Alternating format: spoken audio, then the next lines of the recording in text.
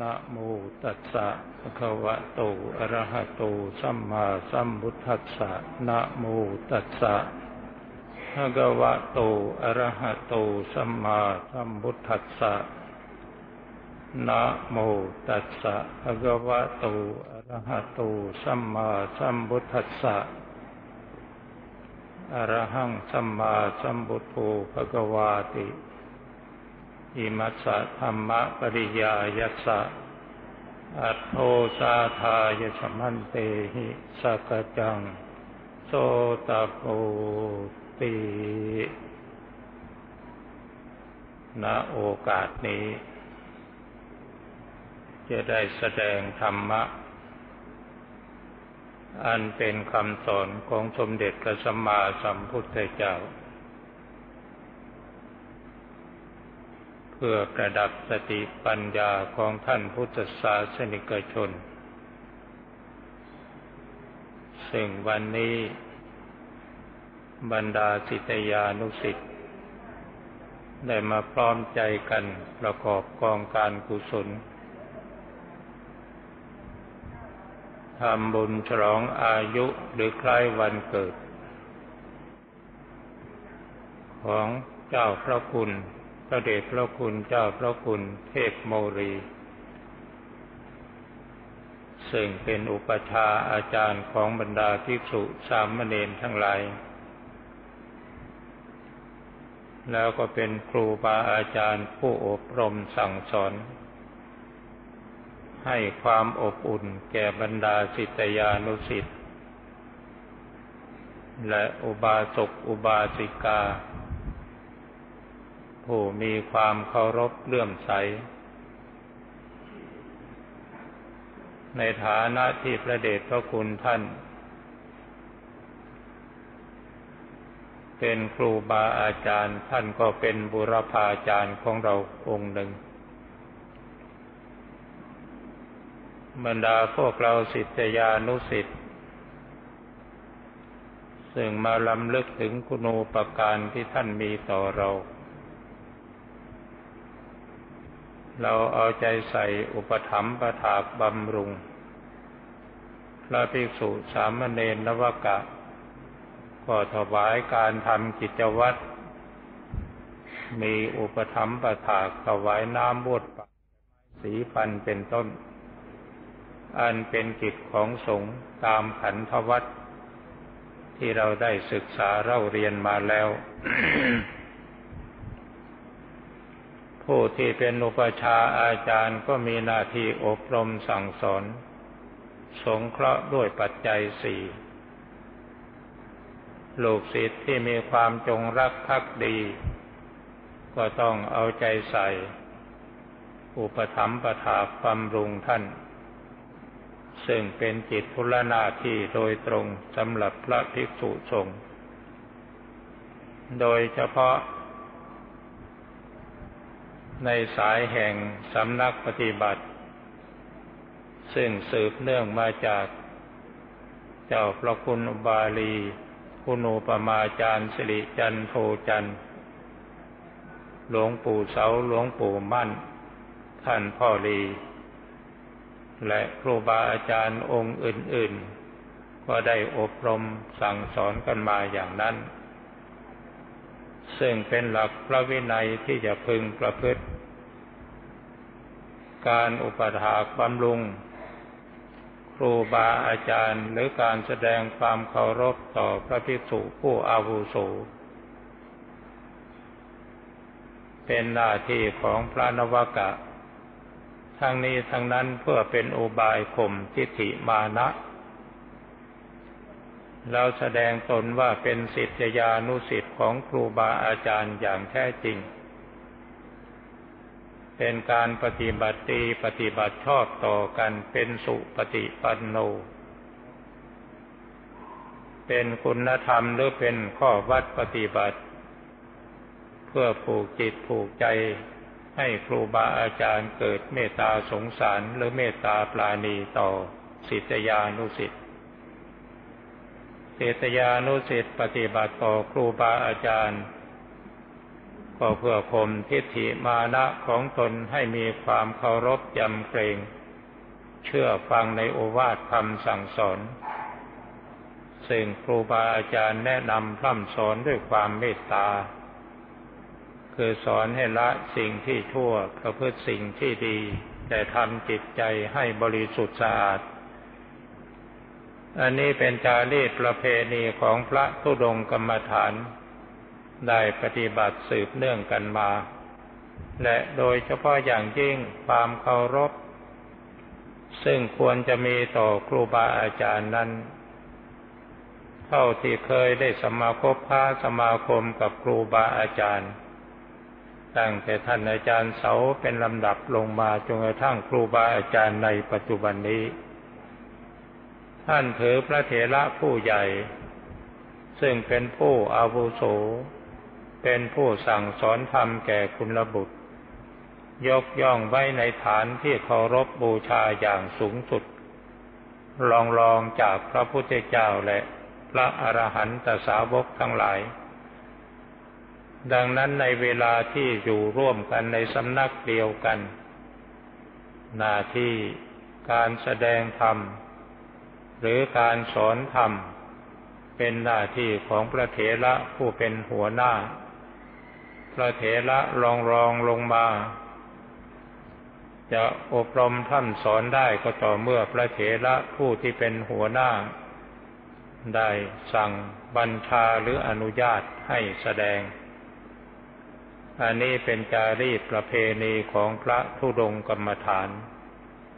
ดังนั้นกรรมฐานในสายภาคตะวันออกเฉียงเหนือนี้ มี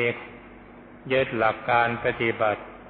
ที่สำคัญที่สุดก็คือสำรวมในศีล ลูกศิษย์นักปฏิบัติต้องสำรวมในศีล เริ่มตั้งแต่ศีลห้าศีลแปดศีลสิบศีลศีลสองร้อยยี่สิบเจ็ด โดยเฉพาะอย่างยิ่งศีลห้านั้นเป็นแม่บทของศีลทั้งหลายทั้งปวง ศีลห้าเป็นบทบัญญัติที่พระพุทธเจ้ารู้ตามกฎของธรรมชาติ ว่าทำอย่างนี้อย่างนี้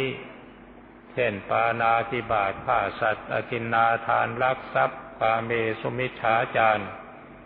ประพฤติผิดในกามมุสาวาทโกหกหลอกลวงสุราดื่มน้ำดองของเมา อันนี้เป็นบัญญัติซึ่งเกิดโดยอาศัยกฎของธรรมชาติ ศีลห้าประการนี้ใครทำลงไปแล้วเป็นบาปทันที ไม่เลือกหน้า ไม่มีอคติลำเอียง คนนับถือศาสนาพุทธธรรมก็บาป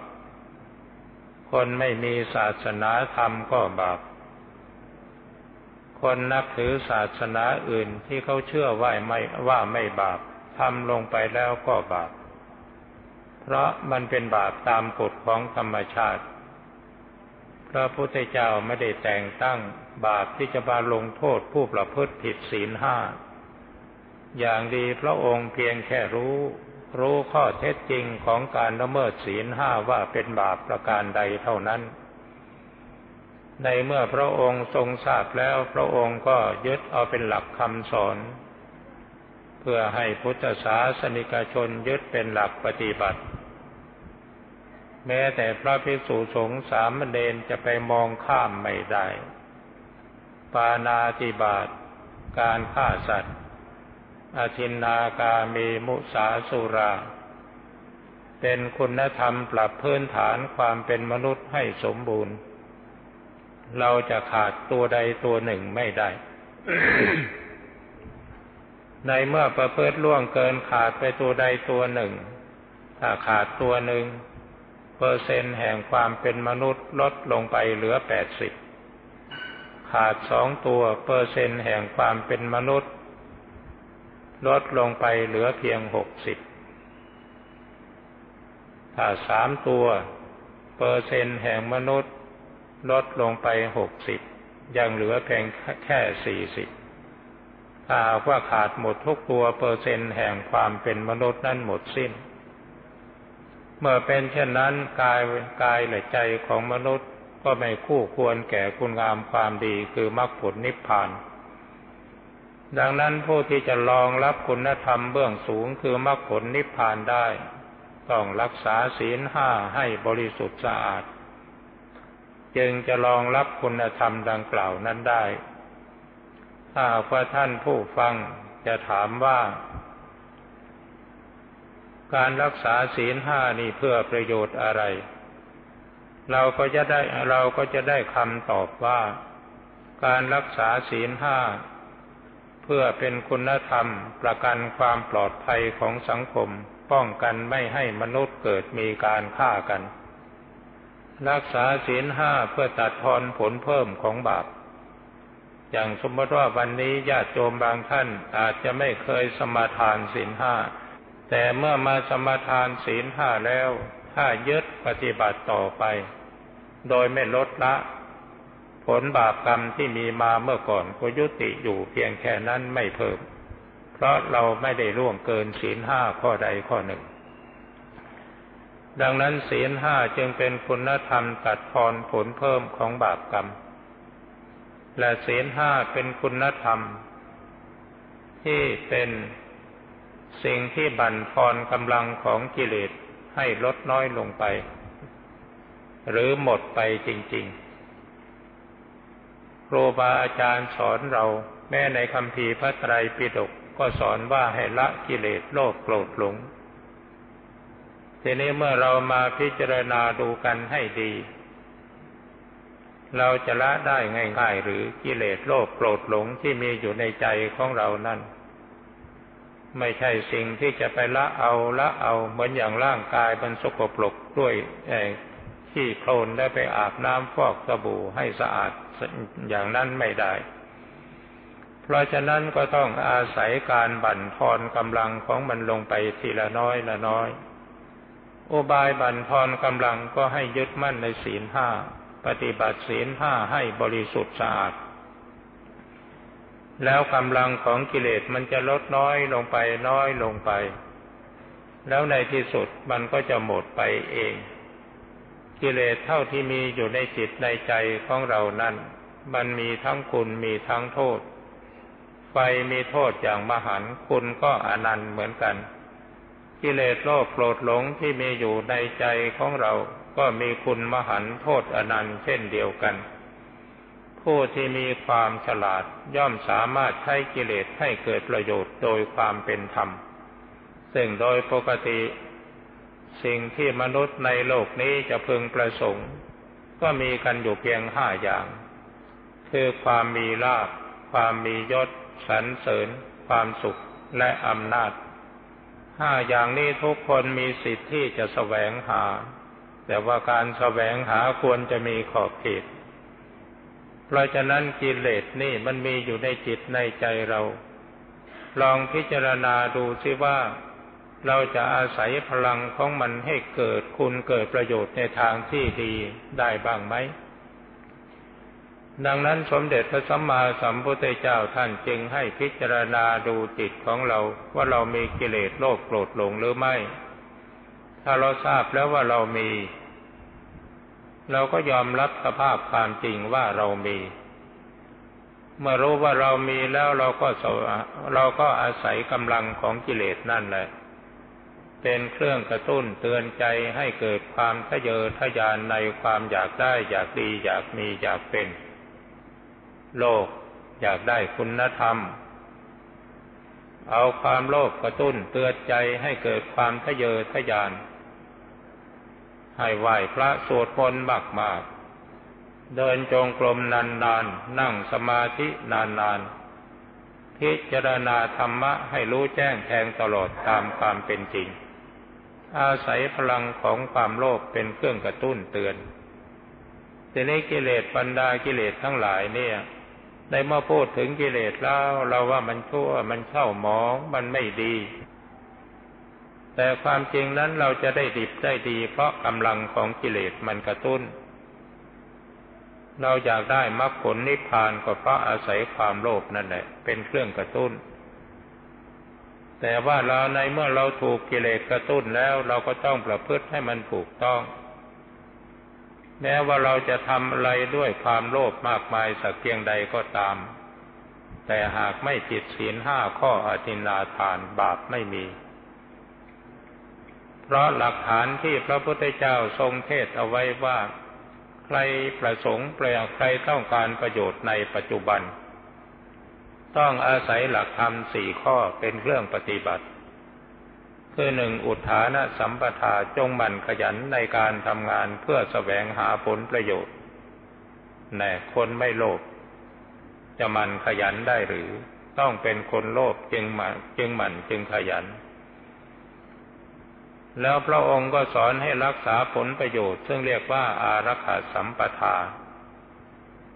รู้จักรักษาผลประโยชน์ไม่ให้เสื่อมโดยไม่จำเป็นกัลยาณมิตรตาให้สร้างความดีกับเพื่อนบ้าน ในเมื่อเรามีความพร้อมด้วยทรัพย์สมบัติและอำนาจ อาศัยทรัพย์สมบัติและอำนาจนั้น ๆ เป็นเครื่องมือสร้างความดีกับเพื่อนบ้าน ให้เพื่อนบ้านเขารัก อย่าไปทำสิ่งที่ไม่ดีให้เขาเกลียด มันอยู่ในสังคมยาก แล้วข้อต่อไปพระองค์ให้เลี้ยงชีวิตตนและครอบครัว ทนบริวารให้มีความสุขสบายพอสมควร ไม่มากนักไม่น้อยนัก นี่เป็นหลักที่พระองค์ทรงแสดงไว้ ดังนั้นคนที่มีความหมั่นความขยัน แม้ขยันแสวงหาทรัพย์สมบัติอันเป็นเรื่องของโลกโลกก็ตาม ผู้ที่มีความทะเยอทะยานหมั่นขยันในการเดินจงกรมนั่งสมาธิภาวนาพิจารณาธรรมก็ตาม ก็อาศัยพลังแห่งความโลภคือความอยากนั้นเองเป็นเครื่องกระตุ้นเตือน ดังนั้นกิเลสปัญดาที่มีอยู่ ถ้าเราใช้ให้ให้มันเกิดประโยชน์โดยความเป็นธรรม โดยไม่ให้ผิดศีลห้าข้อใดข้อหนึ่ง เข้าใจว่าไม่มีบาปกรรม และพระพุทธเจ้าก็ไม่ได้ทรงตำหนิด้วย เพราะฉะนั้นศีลห้าประการนี้จึงเป็นขอบเขตของการใช้กิเลสให้เกิดประโยชน์โดยความเป็นธรรม และประการสำคัญที่สุด ก็เป็นคุณธรรมปรับพื้นฐานความเป็นมนุษย์ให้สมบูรณ์ ประการสุดท้ายเป็นคุณธรรมที่เป็นมูลฐานให้เกิดระบอบการปกครองแบบประชาธิปไตย เพราะว่าหัวใจของประชาธิปไตยอยู่ที่การเคารพสิทธิมนุษยชน ปานาติบาตเคารพสิทธิในการดำรงชีพอยู่ของคนอื่นและสัตว์อื่น อธินาทานาอธินาทาน เคารพสิทธิในในการครอบครองทรัพย์สมบัติ กาเมสุมิฉาจารก็เคารพสิทธิในคู่ครองในบุคคลผู้ห่วงห้าม เพราะฉะนั้นศีลห้าประการนี้เมื่อประยุกต์กับการปกครองบ้านเมือง จะกลายเป็นมูลฐานให้เกิดระบอบการปกครองแบบประชาธิปไตย อันนี้คือผลประโยชน์ของศีลห้าที่จะพึงได้รับ ในปัจจุบันที่เรามองเห็นได้ง่าย ๆ ทีนี้บางทีบางท่านอาจจะมีความสงสัยข้องใจว่า เราไม่สามารถเราไม่มีเวลาที่จะไปบวชในศาสนาโดยเป็นพระเป็นเนนเป็นแม่ขาวนางชี เราจะรักษาแต่เพียงแค่ศีลห้าจะเป็นเหตุเป็นปัจจัยให้ถึงมรรคผลนิพพานได้หรือไม่คำตอบก็มีนางวิสาขามหาอุบาสิกาเป็นตัวอย่าง ท่านอนาถาบินดิกามหาเศรษฐีเป็นตัวอย่าง ท่านเหล่านั้นก็เป็นคฤหัสถ์ครองเรือนมีครอบมีครัวเหมือนอย่างเราเราท่านท่านแต่ท่านยึดมั่นในศีลห้าประการแล้วปฏิบัติ ก็ได้สำเร็จพระโสดาบันเป็นพระอริยบุคคล ทั้งๆทที่ยังมีเครื่องแต่งตัวขาวๆแดงๆอยู่อย่างเราธรรมดา เพราะฉะนั้นผู้ที่ไม่มีโอกาสที่จะได้บวชในพระพุทธศาสนา ถ้าตั้งอกตั้งใจประพฤติปฏิบัติกันอย่างจริงจังมรรคผลนิพพานพระพุทธเจ้าไม่ได้ผูกขาดเอาไว้สำหรับนักบวชโดยตรง แม้แต่คฤหัสถ์ผู้ปฏิบัติดีปฏิบัติชอบก็สามารถได้บรรลุมรรคผลนิพพานเช่นเดียวกัน อันนี้เพื่อแก้ข้อข้องใจ เพราะว่ามีใครต่อใครเข้ามาถาม หรืออาจจะเข้าใจผิดว่า เราไม่ได้บวชรักษาศีลห้านี่ มันไม่ใช่ มันไม่ถึงมรรคผลนิพพาน บางท่านก็เข้าใจเช่นนั้น เพราะฉะนั้นขอได้โปรดทำความเข้าใจว่าคฤหัสมั่นคงในศีลห้าแล้วเจริญสมาธิภาวนาก็ได้สำเร็จมรรคผลนิพพานเช่นเดียวกันทีนี้ในเมื่อเรามาในเมื่อพูดถึงเรื่องของศีลการรักษาศีลแล้ว ก็ควรจะได้พูดถึงเรื่องการฝึกการทำสมาธิ การฝึกฝนอบรมสมาธิที่ครูบาอาจารย์ท่านสอนมา ในสายของท่านอาจารย์เสาอาจารย์มั่น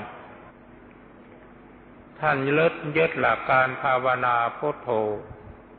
กับอนาปานุสติเป็นหลัก ดังนั้นคณะครูบาอาจารย์กรรมฐานทั้งหลาย จึงลงมติ ให้เจ้าพระคุณพระอาจารย์สิงห์เรียบเรียงหนังสือเล็กๆเล่มหนึ่งขึ้นมาเพื่อเป็นคู่มือแห่งการปฏิบัติ ซึ่งเรียกว่าพระไตรสรณคมย่อ อันนี้เป็นมติของครูบาอาจารย์ท่านเห็นพร้อมกัน ว่าให้ท่านอาจารย์สิงห์เนี่ย เรียบเรียงหลักการปฏิบัติภาวนาพุทโธขึ้นสักเล่มหนึ่ง ทีนี้เหตุผลในการที่เราจะมาภาวนาพุทโธเนี่ย ก็เพราะเหตุว่ามันใกล้กับความจริง พุทโธแปลว่าผู้รู้ พุทโธแปลว่าผู้ตื่น พุทโธแปลว่าผู้เบิกบาน เป็นกิริยาของจิต ในเมื่อผู้มาภาวนาพุทโธพุทโธ ในเมื่อจิตสงบลงไปแล้ว จิตจะบรรลุถึงสภาวะสงบ มีปีติมีความสุข มีความสว่าง แล้วสภาวะจิตจะถึงซึ่งความรู้ ซึ่งความเป็นผู้รู้ ผู้ตื่น ผู้เบิกบานคำภาวนาพุทโธหายไป ในตอนแรก ๆ เราอาจจะภาวนาพุทโธพุทโธพุทโธพุทโธเอาไว้ก่อน ทีนี้พอจิตสงบลงไปแล้ว นิ่ง รู้ตื่นเบิกบานสว่างสวัยคำว่าพุทโธหายไป จิตไม่ได้ภาวนาพุทโธอีกแล้วทำไมจึงเป็นเช่นนั้น ก็เพราะเหตุว่าในตอนแรกเราภาวนาพุโทโธพุโทโธพุโทโธจิตของเรายังไม่เห็นพุโทโธ ในเมื่อเรายังไม่เห็นพุโทโธเราก็ต้องเรียกร้องหา ทีนี้เมื่อจิตสงบปุ๊บลงไปนิ่งสว่างรู้ตื่นเบิกบานนั่นพุโทโธเกิดขึ้นในจิตของเราแล้ว จิตเขาก็หยุดเรียกพุโทโธ เองโดยอัตโนมัติโดยที่เราไม่ได้ตั้งใจ ทีนี้บางทีบางท่าน ก็ให้คำแนะนำว่า ในเมื่อภาวนาพุทโธพุทโธพุทโธพอจิตจุดพุทโธไปนิ่งว่างอยู่ พอรู้สึกตัวขึ้นมาก็ให้นึกถึงพุทโธอีก นี่ท่านสอนกันอย่างนี้ แต่ในหลักพระไตรสรณคมย่อนั้นท่านไม่ได้ว่าอย่างนั้น เมื่อเราภาวนาพุทโธพุทโธพุทโธจิตสงบนิ่งลงไปนิดหน่อย หยุดภาวนาพุทโธนิ่งว่างอยู่เฉยๆหลวงปู่สิงห์ท่านให้กำหนดรู้จิตตรงที่ว่าง ให้จิตสงบละเอียดลงไปละเอียดลงไป จนผ่านอุปจารสมาธิอัปปนาสมาธินี่ท่านสอนอย่างนี้ แต่มาในปัจจุบันนี้นักภาวนาทั้งหลาย พากันกลัว กลัวคำพูดที่เขาว่า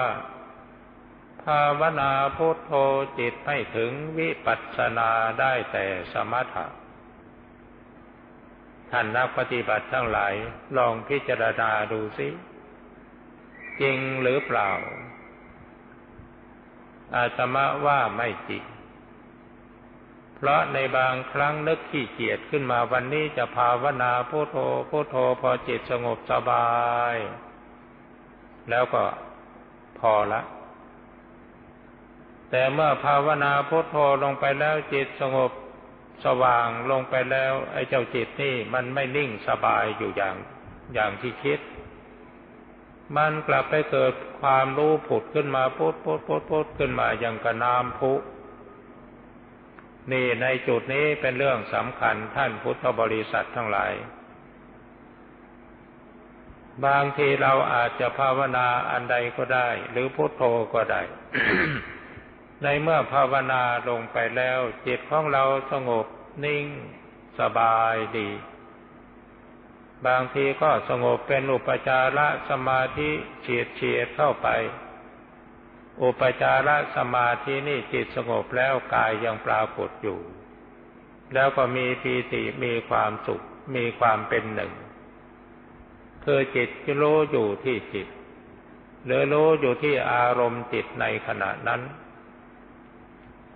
ทีนี้ในเมื่อเราภาวนาไปจิตมันสงบละเอียดลงไปเข้าสู่อัปปนาสมาธิ รู้สึกว่าร่างกายตัวตนนี่หายไปหมดไม่มีเหลืออยู่ มีแต่จิตดวงเดียวใสสว่างลอยเด่นอยู่ ไม่ทราบว่าอยู่ที่ไหน เพราะมันไม่มีที่หมาย จะว่าเบื้องต่ำก็ไม่ใช่ เบื้องสูงก็ไม่ใช่ เบื้องข้าง ซ้ายข้างขวาก็ไม่ใช่ มันมีแต่จิตดวงเดียวสว่างสวัยโปร่งลอยเด่นอยู่เหมือนดวงจันทร์ดวงอาทิตย์ ทีนี้พอภาวนาหนักๆเข้า จิตมันดำเนินไปสู่ความสงบบ่อยเข้าบ่อยเข้า แล้วมาภายหลังนี่บางทีเราอาจจะนึกภาวนาพุโทโธพุโทโธเพียงสองสามคำเท่านั้น จิตมันก็สงบปู้ป้าบลงไปพอนิ่งสว่าง แล้วความรู้ความคิดมันจะเกิดขึ้นมาพุดพุดพุดขึ้นมาอย่างกับน้ำพุ นี่ตอนนี้อย่าเข้าใจผิดนะจิตสงบนิ่ง สว่างรู้ตื่นเบิกบาน ร่างกายยังปรากฏอยู่ แล้วก็เกิดความคิดขึ้นมาพุดพุดขึ้นมา มีสติสัมปชัญญะรู้พร้อมอยู่ในขณะที่จิตคิด บางท่านไปเข้าใจว่าจิตฟุ้งซ่านสมาธิแตก นั่นเข้าใจผิด เมื่อเราภาวนาจิตสงบลงไปนิ่งสว่าง รู้ตื่นเบิกบานแต่กายยังปรากฏอยู่ ลมหายใจก็ยังอยู่ แล้วมันเกิดความคิดขึ้นมาฟุ้งฟุ้งฟุ้งขึ้นมา ถ้ามันเป็นในลักษณะอย่างนี้นักปฏิบัติควรจะปล่อยให้มันคิดไปตามอำเภอใจของมัน นี่จุดนี้แหละ ซึ่งเรียกว่าจิตจะก้าวขึ้นสู่ภูมิแห่งวิปัสสนา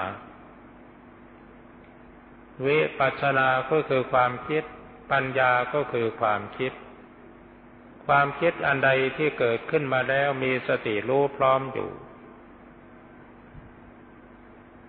เรียกว่าปัญญาในสมาธิ ถ้าหากว่าเราไม่เข้าใจผิด ปล่อยให้จิตตรงนี้เขาคิดไป คิดไปคิดไป โดยความทำความรู้สึกในทีว่า เธอจะคิดไปถึงไหน ฉันจะตามดูเธอ เธอจะคิดเรื่องบาปเรื่องบุญเรื่องกุศลเรื่องอกุศลปล่อยไปเลย อย่าไปห้าม แต่ว่าให้มีสติกำหนดตามรู้ไป เขาจะคิดไปเนื้อไปใต้เรื่องโลกเรื่องธรรมเรื่องบาปเรื่องบุญเรื่องกุศลอกุศลอะไรต่างๆ ซึ่งสุดแท้แต่เขาจะคิดขึ้นมา ปล่อยให้คิดไปเลย อย่าไปเข้าใจว่าจิตฟุ้งซ่านทีนี้ถ้าเราปล่อยให้คิดไปคิดไป เราจะรู้สึกเพลิดเพลินในความคิดของตัวเอง แล้วจะเกิดมีอาการกายเบาจิตเบา กายสงบจิตสงบ กายเบากายสงบก็ได้กายวิเวก จิตเบาจิตสงบก็ได้จิตตวิเวก ในเมื่อจิตสงบนิ่งเป็นสมาธิก็ได้อุปธิวิเวก เพราะสมาธิจิตเป็นกลาง ไม่มีความยินดียินร้าย ไม่มีอาการของกิเลสเกิดขึ้น จึงได้ชื่อว่าได้อุปธิวิเวก ทีนี้ถ้าหากว่าเราไม่ไปขัดขวาง ปล่อยให้เขาคิดไป ความคิดที่คิดขึ้นมาเองนั่นเป็นวิตก สติที่รู้พร้อมอยู่เป็นวิจารแล้วก็เกิดปีติสุขเอกคตา จิตกำหนดรู้ความคิดที่เกิดดับอยู่ โดยอัตโนมัติ ปราศจากสัญญาเจตนาใด ๆ ที่เราจะไปตั้งอกตั้งใจให้มันเป็นอย่างนั้น แต่จิตเขาคิดไปเองโดยอัตโนมัติคิดทั้งขนาดที่ว่าเราลังไม่อยู่ ถ้าเขินไปขัดขวางแล้วเกิดปวดหัวมัวกล้าวขึ้นมาทันที เพราะไปฝืนธรรมชาติของสมาธิและปัญญาที่เกิดขึ้นมาเอง ขอให้นึกถึงโอวาทของหลวงปู่เสาที่ว่า เวลานี้จิตข้ามันไม่สงบมีแต่ความคิด เมื่อไปถามท่านจริง ๆ ท่านก็ให้คำตอบว่า ถ้าหากมันเอาแต่นิ่งมันก็ไม่ก้าวหน้า ท่านว่าอย่างนี้ ทีนี้เราลองมาพิจารณาถึงหลัก หลักไตรสิกขา ศีลสมาธิปัญญา ศีลปริภาวิโตสมาธิมหัปโลโหติมหานิสังโสเป็นต้น ศีลอบรมสมาธิ สมาธิอบรมปัญญา ปัญญาอบรมจิต ในหลักมีอยู่เนี่ยในเมื่อศีลบริสุทธิ์สะอาดบำเพ็ญสมาธิ สมาธิก็เป็นสัมมาสมาธิ ในเมื่อสมาธิมีศีลเป็นหลักประกันความปลอดภัย ความคิดอ่านที่เกิดขึ้นก็เป็นสัมมาทิฏฐิ เพราะมีสติรู้พร้อมอยู่นี่ขอให้นักปฏิบัติทั้งหลายพึงทำความเข้าใจในตอนนี้ให้ชัดเจน แล้วก็สังเกตไปเรื่อยๆ เราจะรู้เอง ทีนี้ในเมื่อเราปล่อยให้จิตของเราคิดไปตามอำเภอใจ พอคิดไปคิดไปก็รู้สึกเพลิดเพลินไปกับความคิดแล้วปีติและความสุขก็บังเกิดขึ้น ในเมื่อปีติสุขบังเกิดขึ้น ความคิดยิ่งเพิ่มความเร็วขึ้น เป็นทวีคูณ บางทีแทบจะกำหนดดูไม่ทัน แต่จะด้วยประการใดก็ตามในช่วงนี้เราไม่ได้ตั้งใจจะดูจะรู้จะเห็นอะไรทั้งนั้นแหละ แต่ว่าจิตเขาจะปฏิวัติตัวไปเองโดยอัตโนมัติ เขาจะรู้เขาก็รู้เอง เขาจะเห็นเขาก็เห็นเอง เขาจะตัดสินอะไรของเขาเขาก็ตัดสินของเขาเอง ทีนี้พอคิดไปสุดท่วงแล้วพอจิตจุดกึกลงไป ไปสงบนิ่งสว่างรู้ตื่นเบิกบาน เข้าไปสู่อัปปนาสมาธิเป็นสมถะอย่างเคย ทีนี้พอจิตไปยับยั้งอยู่ชั่วขณะหนึ่งแล้วถอนออกมา พอมารู้สึกว่ามีกายเท่านั้นเองจิตดวงนี้จะมาพิจารณาทบทวนสิ่งที่เป็นอยู่ในสมาธิอันละเอียดนั้น แล้วจะได้ความรู้ขึ้นมาว่า ความคิดเป็นอาหารของจิต ความคิดเป็นการบริหารจิต ความคิดเป็นการผ่อนคลายความตึงเครียด ความคิดเป็นสภาวะเป็นเครื่องหมาย ให้เรากำหนดรู้ว่าอะไรไม่เที่ยงเป็นทุกข์เป็นอนัตตา ความคิดนี่แหละเป็นสภาวะที่มายั่วยุให้เราเกิดกิเลสและอารมณ์ ทำให้เกิดความยินดีทำให้เกิดความยินร้าย อิทธาลม อนิถาลม ความยินดีก็กามตัณหา ความยินร้ายก็วิภวะตัณหา ในเมื่อจิตไปยึดมั่นถือมั่นในสิ่งนั้นก็กลายเป็นภาวะตัณหา ก็มองเห็นตัวกิเลสได้ชัดเจนทีนี้เมื่อมองเห็นตัวกิเลสได้ชัดเจนแล้ว ในเมื่อจิตดวงนี้มีกามตัณหาภาวะตัณหาวิภาวะตัณหาอยู่พร้อม ความสุขความทุกข์ก็ย่อมบังเกิดขึ้นสลับกันไป ผู้มีสติสัมปชัญญะสามารถกำหนดรู้สุขและทุกข์เกิดขึ้นดับไป เกิดขึ้นดับไปสลับกันไปอยู่อย่างนั้น ในที่สุดในเมื่อสติปัญญาแก่กล้า ก็จะมองเห็นและรู้ว่า รู้ทุกอย่างชัดแจ้งว่านี่คือทุกอริยสัจที่พระพุทธเจ้าตรัสรู้ เมื่อรู้แล้วว่านี่คือทุกข์แล้วจิตตรงนี้เขาจะสาวหาเหตุของเขาเอง ว่าทุกข์นี่มันเกิดมาจากไหน แล้วก็จะรู้ต่อไปว่าทุกข์นี้มันเกิดมาเพราะตัณหา กามตัณหาภวะตัณหาวิภวะตัณหา แล้วจิตตรงนี้ก็จะกำหนดรู้ทุกต่อไป เมื่อสติสัมปชัญญะมีพลังเข้มแข็งขึ้นกลายเป็นปัญญารู้แจ้งเห็นจริง เกิดเป็นตัววิชา ก็จะรู้ว่านี่คือทุกอริยสัจที่พระพุทธเจ้าตรัสรู้ นี่คือทุกข์ที่เกิดขึ้นดับไปไม่หยุดยัง้ง นอกจากทุกข์ไม่มีอะไรเกิด นอกจากทุกข์ไม่มีอะไรดับ ทุกข์เท่านั้นเกิดขึ้น ทุกข์เท่านั้นดับไป แล้วก็จะเกิดญาณอย่างรู้ว่า ยังกินกิสมุทยธรรมังสพันตังนิโรธธรรมมันติ สิ่งใดสิ่งหนึ่งเกิดขึ้นเป็นธรรมดาสิ่งนั้นดับไปเป็นธรรมดา แล้วก็จะได้ดวงตาเห็นธรรม เพราะรู้อริยสัจสี่คือทุกสมุทัยนิโรธมรรคในขณะจิตเดียวเท่านั้น นี่ถ้าเราปล่อยให้จิตของเราเป็นไปตามที่ตามพลังของสมาธิและสติปัญญาโดยเราไม่บังคับ หรือไม่ไปรบกวนเขา หน้าที่ของเราเพียงแค่ว่าทำสติกำหนดตามรู้ไปเท่านั้น แล้วเราจะได้รู้แจ้งเห็นจริงในสภาวะธรรมตามความเป็นจริง จิตที่มีความคิดเกิดขึ้นมาเอง จะเป็นเรื่องอะไรก็ได้ แต่มีสติสัมปชัญญะกำหนดตามรู้อยู่ตลอดเวลา อันนี้คือจิตเดินวิปัสสนา เพราะความคิดในอารมณ์ที่เกิดขึ้นดับไปนั้น เป็นเครื่องหมายให้จิตสามารถกำหนดรู้ว่าอะไรไม่เที่ยงเป็นทุกข์เป็นอนัตตา เพราะฉะนั้นในขณะใดที่จิตนิ่งอยู่ว่างๆไม่มีความรู้ความคิดอ่านเกิดขึ้น ท่านเรียกว่าเป็นสมถะเป็นสมาธิขั้นสมถะไม่เกิดความรู้ และเป็นสมาธิในฌานสมาบัติ แม้จะเป็นสมาธิในฌานสมาบัติแต่ก็เป็นฐานสร้างพลังจิต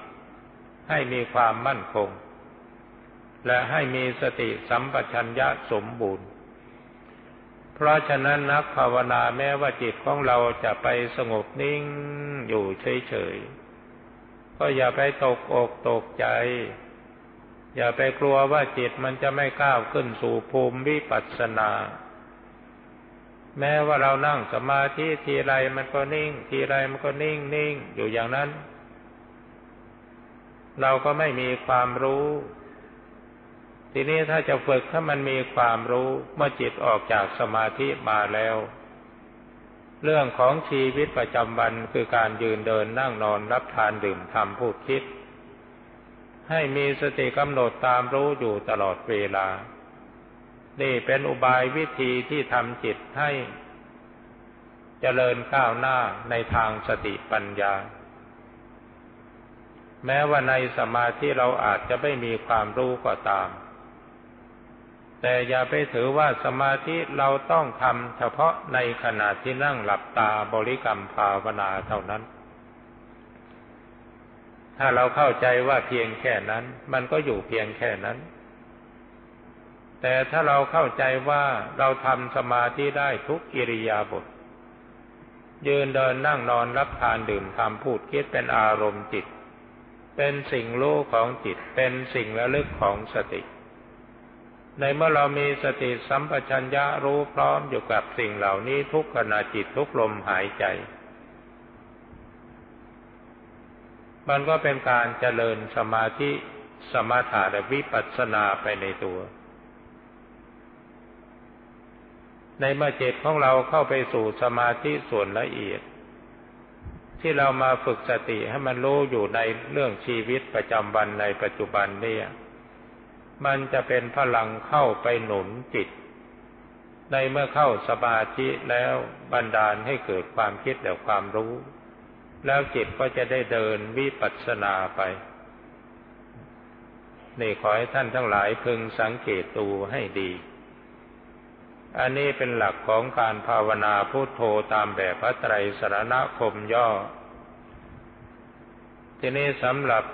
วัดอโศการามนี่ ได้ทราบว่าท่านพ่อรี ท่านยึดหลักอนาปานุสติเป็นเรื่องสำคัญ บางทีท่านก็สอนให้ภาวนาโพธพร้อมลมเข้าโทพร้อมลมออก บางทีท่านก็สอน ให้กำหนดดูลมหายใจเข้าหายใจออก แล้วก็ให้สูดลมเข้านับหนึ่งปล่อยลมออกนับสองแล้วก็นับหนึ่งสองสามสี่ห้าหกเจ็ดแปดเก้าสิบแล้วก็ถอยลงมาเก้าสิบแปดเก้าแปด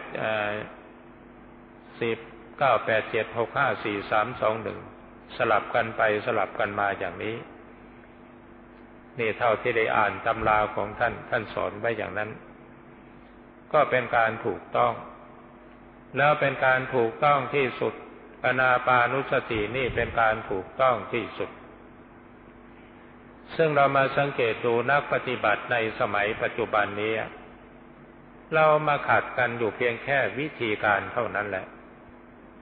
ผู้ภาวนาพุทโธก็บอกของตัวดีสัพาอรหังก็บอกของตัวดีวิเศษ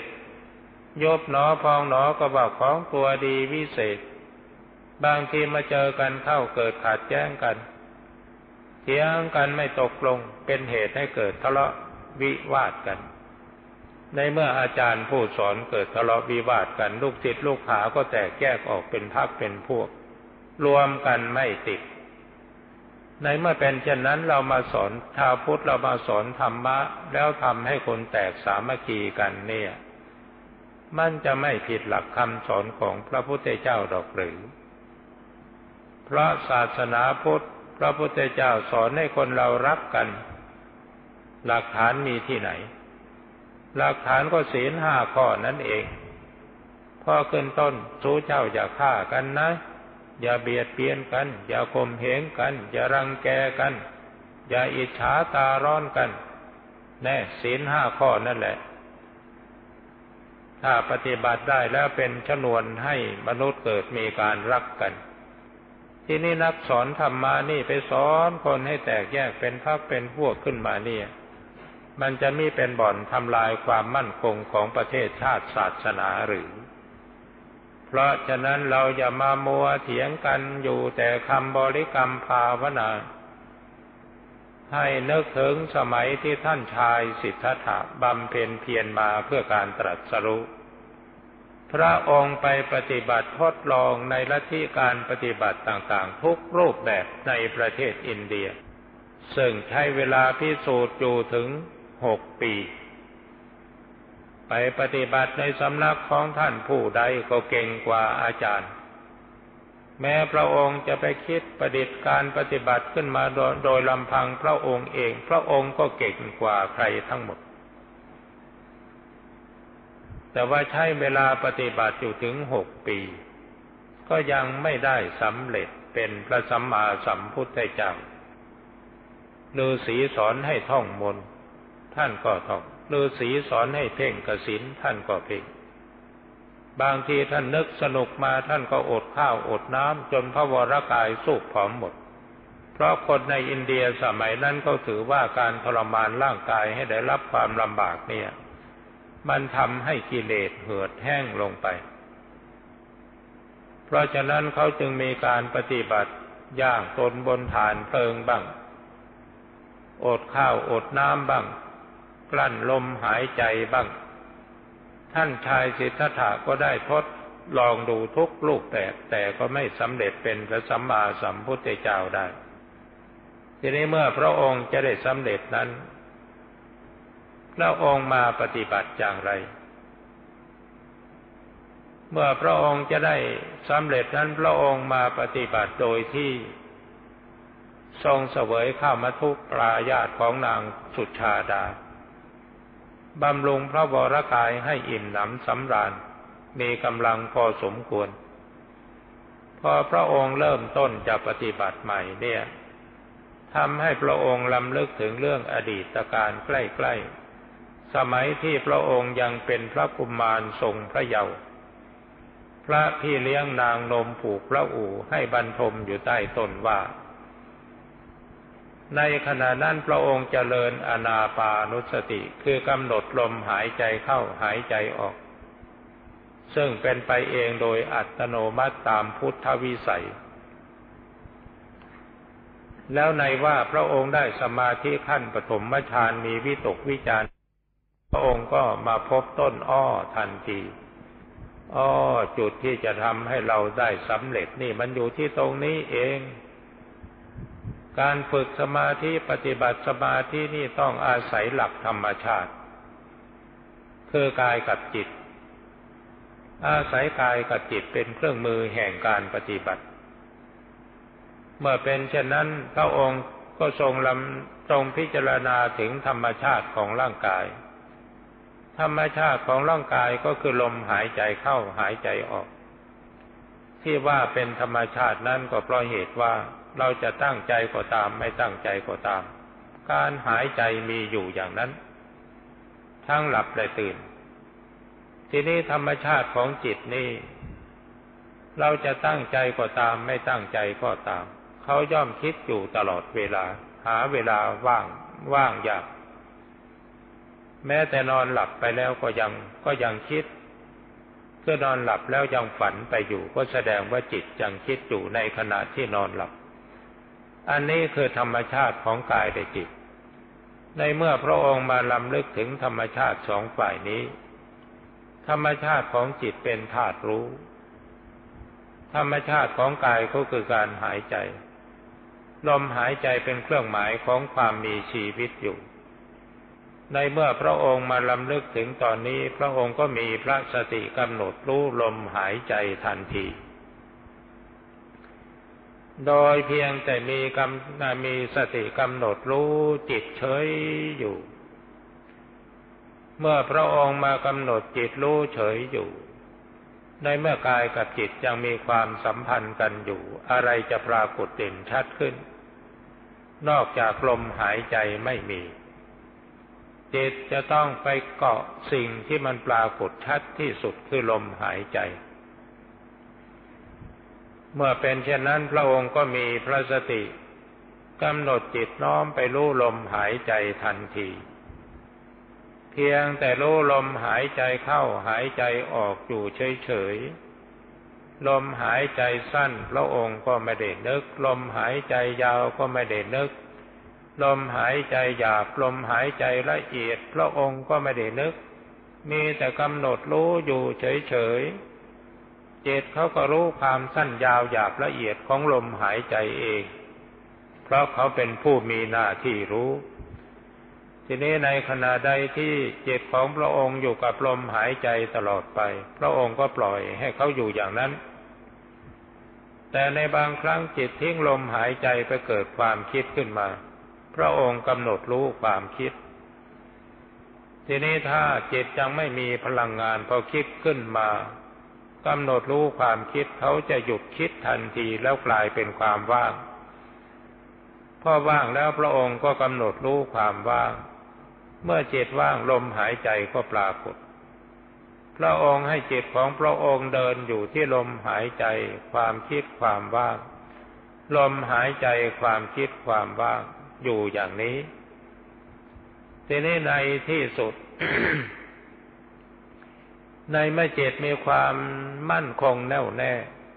มายึดลมหายใจเพียงอย่างเดียว แล้วก็กำหนดรู้ลมหายใจละเอียดลงไปละเอียดลงไป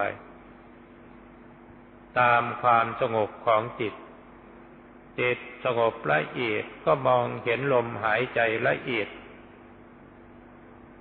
ละเอียดจนกระทั่งว่า บางครั้งลมหายใจไม่มีจิตเข้าไปสู่อัปปนาสมาธิร่างกายตัวตนหายไปหมด มีแต่จิตดวงเดียว เมื่อจิตสมาธิเข้าไปถึงอัปปนาสมาธิร่างกายหายไปแล้ว ลองลองสังเกตดูนะ ถ้าอย่างเห็นใครเขานั่งสมาธิอยู่ อยากจะรู้ว่า จิตของเขาสงบหรือไม่ เราไปมองมองดู ถ้าหากปรากฏว่านานๆมีการหายใจทีหนึ่ง นั่นแสดงว่าจิตกำลังเริ่มสงบเป็นอุปาจารสมาธิ ทีนี้ถ้าหากว่าไม่มีการหายใจเลย จิตสงบเข้าไปถึงอัปปนาสมาธิจิตที่เข้าสมาธิถึงขนาดอัปปนาสมาธินี่ผู้ภาวนาจะไม่หายใจ ไม่เชื่อลองดูก็ได้ทีนี้เมื่อจิตของพระองค์ถอนออกมาจากสมาธิแล้ว ก่อนอื่นก็กำหนดรู้ลมหายใจ กำหนดรู้ลมหายใจละเอียดเข้าละเอียดเข้า ในที่สุดจิตตามลมหายใจเข้าไป สงบนิ่งสว่างอยู่ในถ้ำกลางของร่างกาย แล้วก็เปล่งรัศมีพุ่งออกมารอบกายทำให้จิตดวงนี้รู้เรื่องความจริงของร่างกาย มองเห็นปอดกำลังสูดลมเข้าไปเลี้ยงร่างกาย มองเห็นหัวใจกำลังฉีดโลหิตไปเลี้ยงร่างกาย มองเห็นตับกำลังแยกเก็บอาหารอันละเอียดแต่บริสุทธิ์ไว้สำหรับเลี้ยงร่างกาย ส่วนไหนขาดเข้าแทนที่อยู่เสมอ มองเห็นอวัยวะน้อยใหญ่ภายในร่างกายเนี่ย ตั้งแต่หัวสุดเท้าแต่เท้าสุดหัวทำงานตามหน้าที่ของตนอย่างตรงไปตรงมาไม่บิดพลิ้ว นั่นคือธรรมชาติของร่างกาย อวัยวะทุกสิ่งส่วนเขาทำงานเองโดยอัตโนมัติ ซึ่งจิตดวงนี้ไม่ได้บังคับบัญชา แต่ก็อาศัยอิทธิพลของจิตครอบคุมอยู่ เพราะในขณะที่จิตไม่อยู่กับกายเนี่ย อวัยวะต่างๆก็จะไม่ทำงาน ในเมื่อจิตเข้ามาอยู่ในร่างกายยึดอยู่ที่กาย อวัยวะต่างๆ ก็ย่อมทำงานทำงานตามหน้าที่ของตนเองแต่จิตไม่ได้สั่ง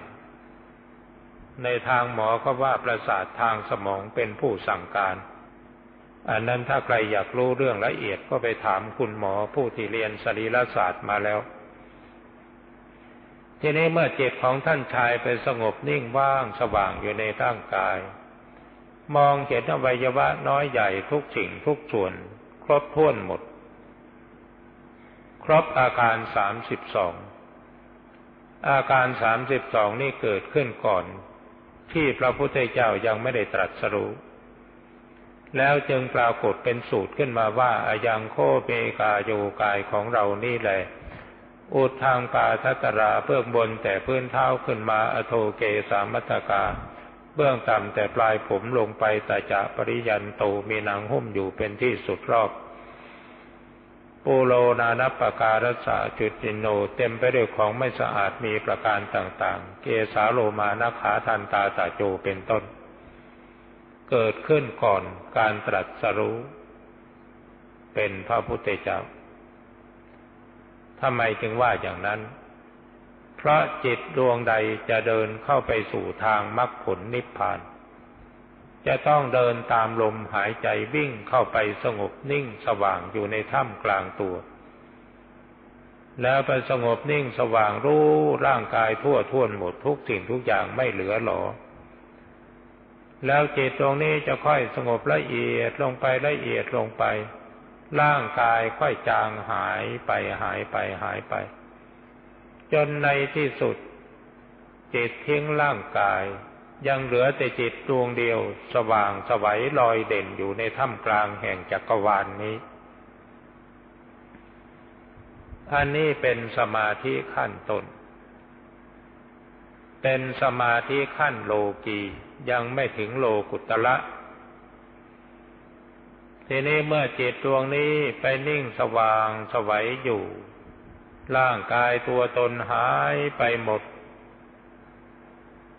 ถ้าจิตดวงนี้ยึดเอาความสว่างของจิตเป็นอารมณ์เป็นเครื่องอยู่ ก็เป็นสมาธิขั้นลูกฌาน เพราะความสว่างของจิตก็ยังเป็นลูกทีนี้ในเมื่อจิตดวงนี้ละทิ้งความสว่างแล้ว ไปลอยเด่นอยู่ในถ้ำกลางแห่งความว่าง ซึ่งเรียกว่าอากาศ ถ้าจะนับอันดับทานก็เรียกว่าอากาสานัญจายตนะ เมื่อจิตดวงนี้ไปลอยแคว้งคว้างอยู่ในถ้ำกลางแห่งความว่าง อากาศไม่มีที่สิ้นสุด อากาศไม่มีประมาณ แล้วจิตดวงนี้ก็สำรวมรู้เข้าไปที่วิญญาณ วิญญาณกำหนดรู้วิญญาณจิตกำหนดรู้จิตจิตละเอียดเข้าละเอียดเข้า เป็นวิญญาณัญจายตนะ แล้วแทนที่จะเตลิดเลยไปถึงอากินจัญญายตนะเนวสัญญานาสัญญายตนะเปล่า พอไปถึงขั้นวิญญาณัญจายตนะแล้วจิตตรงนี้วิญญาณตรงนี้ก็กำหนดรู้ตัวเองละเอียดเล็กเข้าไปเล็กเข้าไป ซึ่งมันจะเป็นไปเองโดยอัตโนมัติสัญญาเจตนาใด ๆ หายหมด มีแต่พลังของศีลสมาธิปัญญานั่นแหละ จะปฏิวัติจิตดวงนี้วิญญาณดวงนี้ ให้สงบละเอียดเล็กลงไปจนกระทั่งสัญญาเวทนาหายขาดไปเจตเข้าสู่ดิโลดสมาบัติซึ่งเรียกว่าสัญญาเวทยิตาดิโลด สัญญาเวทยิตานิโรดนี้เองเป็นฐานสร้างสมาธิสร้างพลังจิต เตรียมพร้อมที่จะกระโดดขึ้นไปสู่โลกุตละธรรมคือกระโดดขึ้นไปอยู่เหนือโลก พอจิตดวงนี้สร้างพลังงานเพียงพอแล้วจิตดวงนี้ขยายตัวเบ่งบานออกมาสว่างสวัยแผ่และสมีคลุมจักรวาลทั้งหมด ภายใต้ความสว่างของจิตดวงนี้ ไม่มีอะไรเล็ดลอด ความสว่างของจิตดวงนี้ไปได้ พระจันทร์พระอาทิตย์แม้มีความสว่างสวัยก็ส่องได้เฉพาะในที่ที่ไม่มีที่กำบัง แต่ดวงจิตของท่านชายสิทธัตถานี่นะมองทะลุจนกระทั่งบาดาล สิ่งใดที่อยู่ภายใต้ แห่งความสว่างของจิตในจักรวาลนนี้ จิตดวงนี้สามารถมองเห็นหมดรู้หมด รู้จนกระทั่ง สัตว์ตัวน้อยตัวใหญ่ อนุปรมาณูนิวเคลียอะไรต่างๆ โลยยมมโลก โลมนุษย์สโลก โลเทวโลก ได้ตรัสรู้เป็นโลกวิถูผู้รู้แจ้งซึ่งโลก และในขณะจิตเดียวนั่นแหละก็ได้โคตรภูยานสามารถกำหนดรู้โคตรเงาของสัตว์ทั้งหลายรู้โคตรเงาของกรรมกิเลสรู้โคตรเงาของกิเลสตัวอวิชชารู้ในขณะจิตเดียวนั้น ความรู้แจ้งเห็นจริงสว่างสวัยไม่มีอะไรเล็ดลอดสายหูสายตาของจิตดวงนี้ไปได้ เรียกว่ารู้เห็นหมดทุกสิ่งทุกอย่าง เรียกว่าตรัสรู้เป็นโคอาเป็นโลกวิถูนอกจากจะรู้แจ้งเห็นจริงหมดทุกสิ่งทุกอย่างแล้วยังรู้โคตรเง่าของสัตว์ทั้งหลาย รู้โคตรเง่าของกรรมรู้โคตรเง่าของกิเลส ซึ่งเรียกว่าโคตรปูยานคือรู้ว่าสัตว์ทั้งหลายมีกำเนิดมาอย่างไร ชาติก่อนชาติโน้นเคยเป็นอะไรมาบ้าง แม่พระองค์เองก็รู้เรื่องของพระองค์เอง แล้วก็รู้เรื่องของบุคคลอื่นสัตว์อื่นด้วย แล้วก็รู้จุตูปะปาตยานขึ้นมากำหนดรู้การจุติและเกิดของสัตว์ทั้งหลาย แล้วก็รู้อาสวัคยายานในขณะจิตเดียว อันนี้เรียกว่าตรัสรู้เป็นโลกวิทูหรือเป็นโคตรภูยานรู้พร้อมหมดทุกสิ่งทุกอย่าง ในขณะที่จิตรู้นั้นรู้อย่างไม่มีสมมติบัญญัติ เห็นผืนแผ่นดินก็ไม่ว่าแผ่นดินเห็นอะไรก็ไม่ว่าอะไร มีแต่รู้นิ่งเฉยอยู่ ไม่มีสมมติบัญญัติ เพราะความรู้ขั้นนี้เป็นขั้นโลกุตละ ความรู้ขั้นโลกุตละจิตสักแต่ว่ารู้สักแต่ว่าเห็นไม่มีสมมติบัญญัติ เพราะเป็นสัจธรรม สัจธรรมย่อมไม่มีสมมติบัญญัติ มีแต่สิ่งที่มีอยู่เป็นอยู่ และทุกสิ่งทุกอย่างมีสภาพเสมอกันหมด ไม่มีอะไรต่ำไม่มีอะไรสูง ไม่มีอะไรดี ไม่มีอะไรเลว แล้วจิตดวงนี้รู้แล้ว ก็สามารถบันทึกข้อมูลเอาไว้พร้อมหมด เหมือนเหมือนกับเครื่องคอมพิวเตอร์ในสมัยปัจจุบันที่เขาบันทึกข้อมูลต่าง ๆ อย่างนั้นแหละ ทีนี้มาภายหลังหลังจากนั้นจิตถอนจากสมาธิมาแล้วทุกสิ่งทุกอย่างหายไปหมด กายกับจิตมามีความสัมพันธ์กัน พอกลายกับกายกับจิตมามีความสัมพันธ์กันพับจิตดวงนี้จึงได้พิจารณาทบทวนสิ่งที่รู้เห็นในเบื้องต้น ซ้ำเติมอีกทีหนึ่งเพื่อความเข้าใจแจ่มแจ้ง พิจารณาเรื่องปุเพนิวาสานุสติยานจบลงในปฐมมยาม พิจารณาเรื่องจุตูปปาตยานกรรมมัสกตายานจบลงในมัชชิมยาม พิจารณาเรื่องกิเลสคืออาสวะอันเป็นเครื่องดองสันดานได้แก่ตัวอวิชชา ซึ่งเป็นเหตุเป็นปัจจัยให้สัตว์ทั้งหลายต้องทำกรรมทำกรรมไปตามที่ตนรู้ไม่จริงมีถูกบ้างผิดบ้างบาปบ้างบุญบ้าง ในเมื่อทำลงไปแล้วก็ได้รับผลของกรรม ได้รับผลของกรรมแล้วก็เกิดอีก เวียนว่ายตายเกิดกันอยู่อย่างนี้ไม่รู้จักจบไม่รู้จักสิ้น ทีนี้เมื่อพิจารณาทบทวนจุตูปปาตยานจบลงในมัชฌิมยาม แล้วก็พิจารณาเรื่องกิเลสอันเป็นเหตุเป็นปัจจัยจบจบลงในปัจฉิมยาม ในเมื่อพิจารณาจบลงในยามทั้งสามต่างวาระกันต่างเรื่องกันเจตของพระองค์ยอมรับสภาพความเป็นจริง ว่าเป็นจริงอย่างที่รู้ที่เห็นนั้น เป็นการตรัสรู้ที่ไม่ผิด เป็นการถูกต้อง เป็นสัมมาสัมพุทโธผู้ตรัสรู้ชอบได้โดยพระองค์เอง แต่ยังไม่มีอรหัง เป็นสัมมาสัมพุทโธเฉยๆ เพราะเพียงแค่ตรัสรู้ ทีนี้ในเมื่อมาพิจารณาทบทวนสิ่งที่รู้ซ้ำเติมอีกทีหนึ่งในยามทั้งสาม จบลงในยามสุดท้ายคือปัจจิมยาม เจตจอมรับสภาพความเป็นจริง อรหัตตมัคคยานบังเกิดขึ้นในขณะจิตนั้น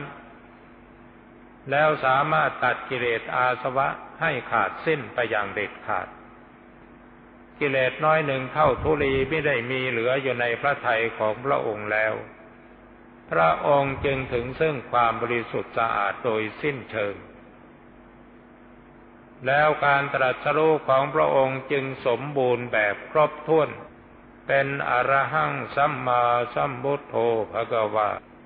พระภูมิพระภาคเจ้า เป็นพระอรหันต์ดับเพลิงกิเลสเพลิงทุกสิ้นเชิง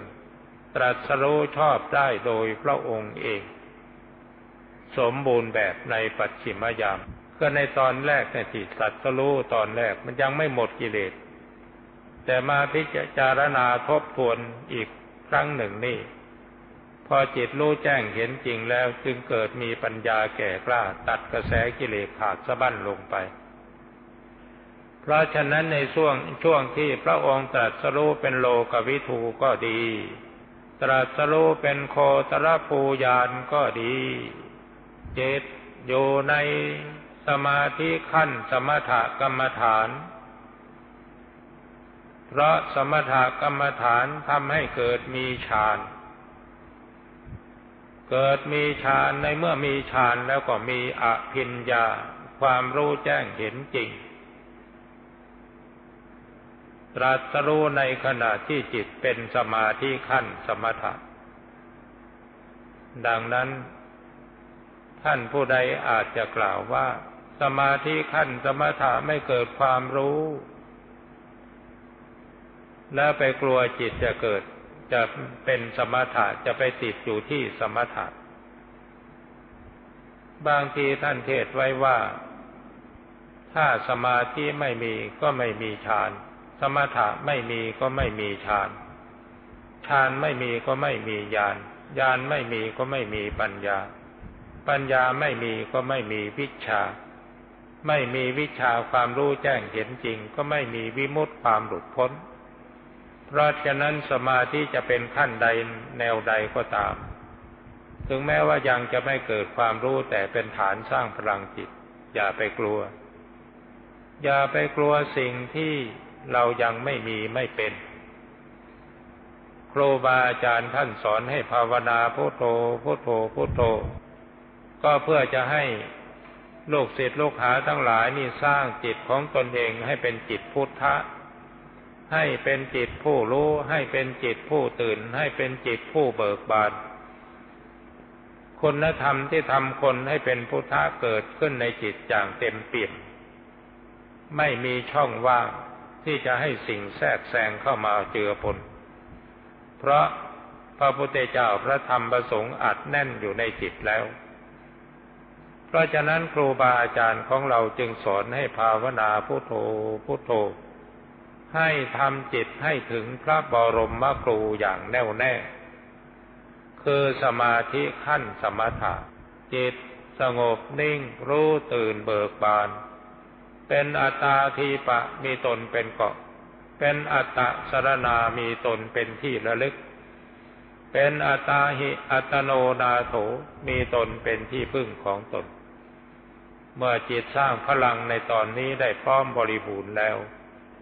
จิตจะปฏิวัติขึ้นสู่ภูมิแห่งวิปัสสนาเอง เราสังเกตดูว่าในเมื่อจิตสงบแล้วมันไม่มีความรู้ แล้วมันขึ้นวิปัสสนาที่ตอนไหน เอากันอย่างนี้ก็แล้วกัน ในเมื่อท่านทำจิตให้สงบนิ่งเป็นสมาธิขั้นละเอียดแล้ว ในขณะนั้นความรู้สึกที่จะยกจิตไปไหนนี่มันไม่มีแล้วล่ะ อย่าไปหาว่า แต่เราต้องรอเวลาที่จิตถอนจากสมาธิขั้นนี้มาแล้ว พอรู้สึกว่ามีกายปรากฏเท่านั้น อย่ารีบดีใจ กระโดดโลดเต้นออกจากที่นั่งสมาธิทันที พระอาจารย์สิงห์ท่านสอนให้พิจารณาทบทวน ความเป็นไปของจิตในระหว่างที่ทำสมาธิภาวนาก่อน เพื่อเป็นการกระตุ้นเตือนจิตให้เกิดมีความคิด หรือบางทีพอจิตถอนออกมาแล้วรู้สึกว่ามีกายปั๊บเท่านั้น ความคิดบังเกิดขึ้นทันที ในเมื่อจิตมีความคิดบังเกิดขึ้นเราปล่อยให้คิดไป แต่ให้มีสติตามรู้ไปรู้ไปรู้ไป นี่เป็นลักษณะของจิตเดินก้าวขึ้นสู่ภูมิแห่งวิปัสสนา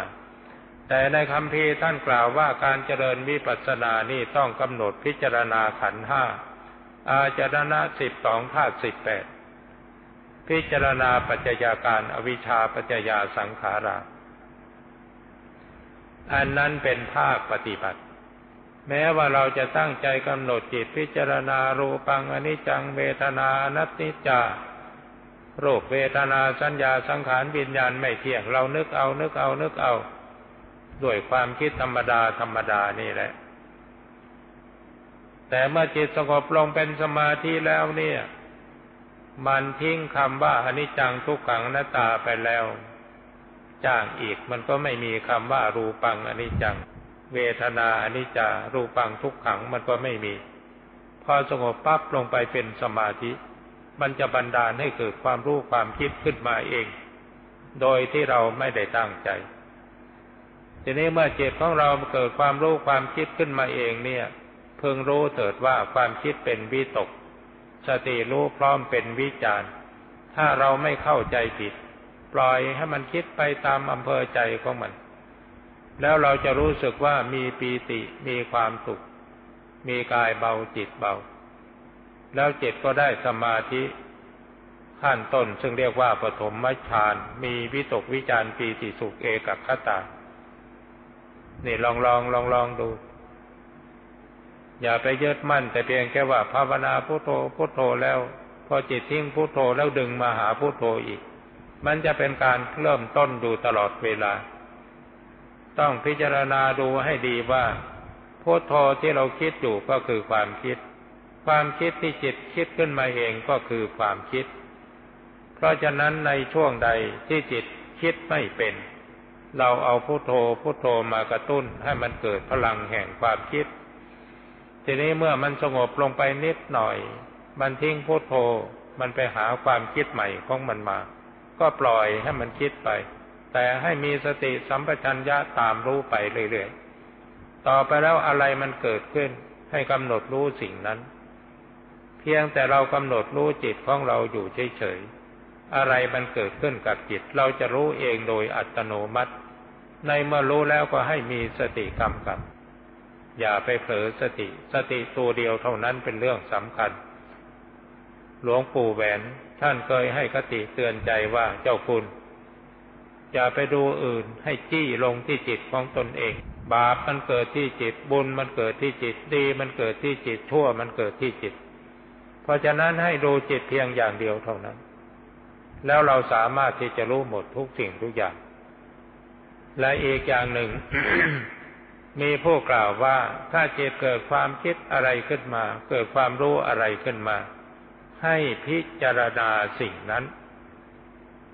แล้วก็ไปเข้าใจว่า เราตั้งใจพิจารณาตั้งใจคิด แต่ความจริงนะไม่ใช่อย่างนั้นคำว่าพิจารณานี้ก็หมายถึงว่ากำหนดรู้สิ่งที่มันเกิดขึ้นดับไปเองโดยอัตโนมัติ ทีนี้ถ้าสิ่งที่มันเกิดขึ้นเราข้องใจสงสัย เราไปตั้งใจพิจารณาเท่านั้น จิตมันจะถอนจากสมาธิเนะ แต่ถ้าอะไรมันเกิดขึ้น เรามีสติกำหนดรู้ดูให้มันรู้อยู่ในที จิตมันจะไม่ถอนจากสมาธิ แล้วมันจะย้อนกลับสงบละเอียดเข้าไปสู่สมาธิตามขั้นตอนอีกครั้งหนึ่ง เพราะฉะนั้นเวลาท่านนั่งสมาธิจิตสงบดีแล้ว เมื่อจิตถอนจากสมาธิมา พอรู้สึกว่ามีกาย อย่ารีบออกจากที่นั่งสมาธิ ให้กำหนดรู้จิตของตนเองอยู่สักพักหนึ่งก่อน ถ้าหากว่าจิตไม่เกิดความรู้ความคิดขึ้นมาเอง ก็ให้พิจารณาทบทวน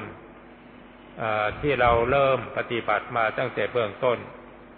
เราได้ไหว้พระสวดมนต์เราได้อธิษฐานจิต เราได้แผ่เมตตาเราได้กำหนดอารมณ์จิต จิตของเราสงบหรือไม่สงบรู้หรือไม่รู้สว่างหรือไม่สว่าง กำหนดพิจารณาทบทวนดูสักสองสามทีแล้วค่อยออกจากที่นั่งสมาธิ อันนี้เป็นแนวทางของท่านอาจารย์สิงห์ที่ท่านเขียนไว้ ในพระไตรสรณคมย่อ ดังนั้นสมเด็จพระสัมมาสัมพุทธเจ้าพระองค์ได้ตรัสรู้ก็เพราะอาศัยการเจริญสมาธิอาศัยหลักธรรมชาติ คือท่านมีสติกำหนดดูลมหายใจอันเป็นธรรมชาติของร่างกาย มีสติกำหนดดูความคิดอันเป็นธรรมชาติของจิต แล้วในที่สุดจิตก็ตามลมหายใจเข้าไปสงบนิ่งสว่างอยู่ในท่ามกลางของร่างกาย เป็นเหตุให้รู้ความจริงของร่างกาย จิตดำเนินเข้าไปสู่ฌานสมาบัติตามขั้นตอน แล้ววกเข้าสู่นิโรธในนิโรธสมาบัติเรียกว่าเข้าสัญญาเวทยิตานิโรธไปสร้างพลังจิตเพื่อการตรัสรู้อยู่ที่ตรงนี้ แล้วจิตเบ่งบานสว่างสบายออกมาได้ตรัสรู้เป็นโลกวิทูเป็นโคตรภูยานได้พิจารณาทบทวนตลอดจามทั้งสามจิตยอมรับสภาพความเป็นจริง แล้วก็หมดกิเลส ได้เป็นพระอรหังสัมมาสัมพุทโธพระกวาพระผู้มีพระภาคเจ้าเป็นพระอรหันต์ดับเพลิงกิเลสเพลิงทุกสิ้นเชิง ตรัสรู้ชอบได้ดนด้วยตนเอง การตรัสรู้สมบูรณ์แบบในปัจฉิมยามด้วยประการฉนี้ได้บรรยายธรรมะมาพอเป็นเครื่องประดับสติปัญญาของท่านพุทธศาสนิกชน ก็เห็นว่าพอสมควรแก่กาละเวลา จึงขอยุติพระธรรมเทศนาลง เอวังก็มีด้วยประการฉนี้ อิทิตังปฏิตังตุมหังคิปเมวัสมิจตุสัพเพปุเรนตุสังกปา จันโทปนรโสยถามณิโทติรโสยถาสพพีติโยวิวัชันตุสัพพโลโควินัสตุมาเตภวัตวันตรายโยทุกีติกายุโกภวะอภิวาธนาสีริสนิจังวุธาปจายิโนจตารโรธรรมาวัตันติอายุวันโนสุขังพระหลัง